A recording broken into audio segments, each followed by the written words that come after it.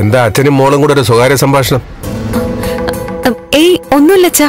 വെറുതെ ഓരോ കാര്യങ്ങളൊക്കെ പറഞ്ഞതാ. ആണോ? വെറുതെ ഓരോന്ന് പറയല്ല സാറേ. എന്താ അച്ഛാ ഇത്?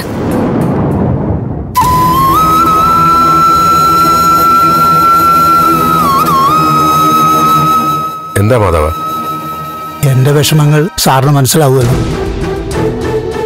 പ്രായത്തിൽ ഞാനാണ് മൂത്തതെങ്കിലും എന്നേക്കാൾ അനുഭവങ്ങൾ സാറിനുണ്ടല്ലോ. നിന്റെ പ്രായത്തിൽ ഒരു മോൾ സാറിനുള്ളതല്ലേ? മാധവൻ കാര്യം പറയും. ദേവിയുടെ ഭാവിയെക്കുറിച്ച് ആലോചിച്ച് കുടുംബത്തിൽ ആർക്കും ഒരു സമാധാനമില്ല സാറേ. ദേവികയുടെ ഭാവിക്ക് എന്താ പ്രശ്നം? അല്ല സാർ നന്ദനും ഇവിടുത്തെ മീരമോളുമായിട്ട് വിവാഹം നടക്കുന്നൊരു സംസാരം ഉണ്ടല്ലോ. ആര് സംസാരിച്ചു? നന്ദൻ പറഞ്ഞോ? ഇല്ല നന്ദൻ പറഞ്ഞില്ല. പിന്നെ ആര് പറഞ്ഞു?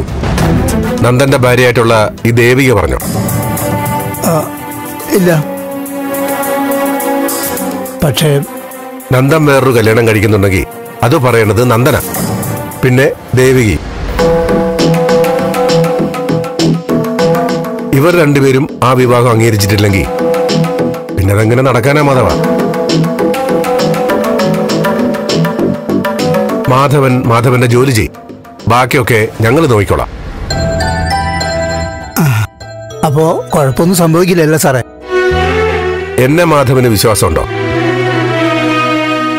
വിശ്വാസം ഉണ്ടെങ്കിൽ ഞാൻ പറയുന്നു മാധവൻ പേടിക്കണ്ട. അരുതാത്ത ഒന്നും സംഭവിക്കാൻ പോകുന്നില്ല. അത് കേട്ടാ മതി. എനിക്ക് സമാധാനമായി സാറേ.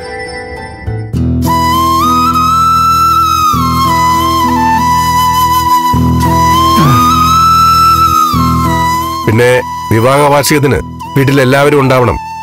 നന്ദനും ദേവികയും വന്ന് ക്ഷണിക്കും. മക്കൾ വീട്ടിൽ വരുന്ന സന്തോഷ. എന്നാലും ക്ഷണിക്കാനായിട്ടൊന്നും വരണ്ട സാറേ.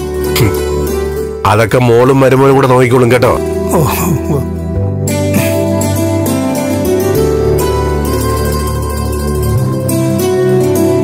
ഡ്രസ് എടുക്കാൻ പോകാൻ പറ്റാത്തതിൽ വിഷമമുണ്ടോ മോളെ?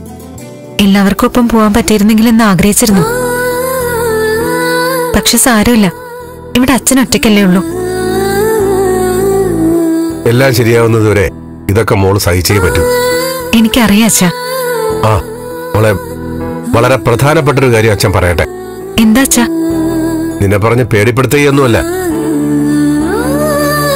വെഡിങ് ആനിവേഴ്സറി സമയത്ത് എന്തും സംഭവിക്കാനുള്ള ഒരു സാഹചര്യം മോൾ മനസ്സിൽ കാണണം. അതിനുവേണ്ടി ഒന്ന് തയ്യാറെടുത്ത് വേണം നിൽക്കാൻ. അന്നത്തെ കാര്യങ്ങളെക്കുറിച്ച് നന്ദനും കൂടി ചേർന്ന് നമുക്ക് വിശദമായിട്ടൊന്ന് പറഞ്ഞുറപ്പിക്കണം. എല്ലാം പ്ലാൻ ചെയ്ത പോലെ നടക്കണം.